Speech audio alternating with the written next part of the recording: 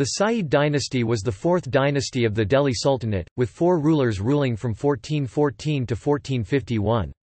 Founded by Khizr Khan a former governor of Multan, they succeeded the Tughlaq dynasty and ruled the Sultanate until they were displaced by the Lodi dynasty. Members of the dynasty derived their title, Sayyid, or the descendants of the Islamic prophet, Muhammad, based on the claim that they belonged to his lineage through his daughter Fatima, and son-in-law and cousin Ali.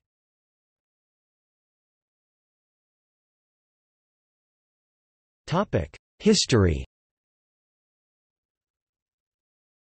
Following the 1398 sack of Delhi, Amir Timur appointed the Sayyids as the governors of Delhi. Their dynasty was established by Sayyid Khizr Khan, deputized by Timur to be the governor of Multan, Punjab. Khizr Khan captured Delhi on 28 May 1414 thereby establishing the Sayyid dynasty. Khizr Khan did not take up the title of sultan and nominally, continued to be a Rayat-i-Ala vassal of the Timurids, initially that of Timur, and later his grandson Shah Rukh. Khizr Khan was succeeded by his son Sayyid Mubarak Shah after his death on 20 May 1421.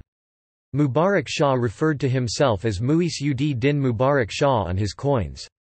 A detailed account of his reign is available in the Tarikh-i-Mubarak Shahi written by Yahya bin Ahmad Sirhindi. After the death of Mubarak Shah, his nephew, Muhammad Shah ascended the throne and styled himself as Sultan Muhammad Shah. Just before his death, he called his son Sayyid Ala ud Din Shah from Badaun, and nominated him as successor. The last ruler of the Sayyids, Ala ud Din, voluntarily abdicated the throne of the Delhi Sultanate in favour of Bahlul Khan Lodi on 19 April 1451, and left for Badaun, where he died in 1478.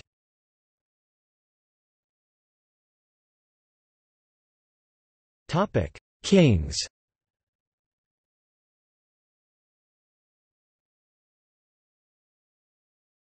Topic: Khizr Khan.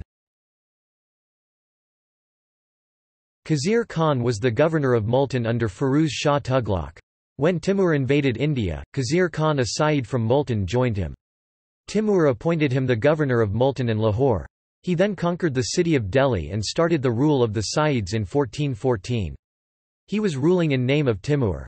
He could not assume an independent position in all respects.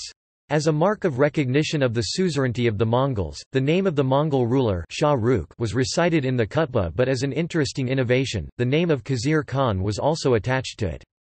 But strangely enough the name of Mongol ruler was not inscribed on the coins and the name of Old Tughlaq Sultan continued on the currency. No coins are known in the name of Khizr Khan.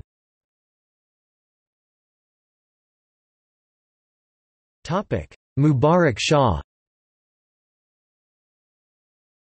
Mubarak Shah was the son of Khizr Khan. He came to the throne in 1421.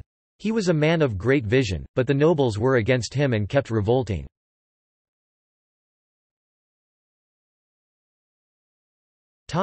Muhammad Shah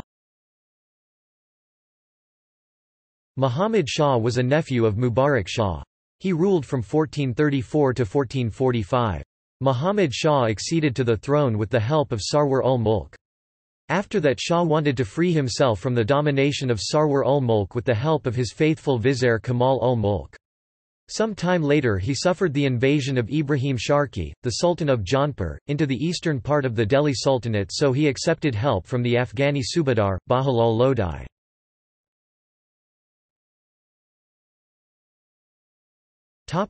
Ala ud Din Alam Shah Alam Shah was a weak ruler. In 1451 he surrendered Delhi to Bahlul Lodi and went to Bhutan where he spent rest of his life.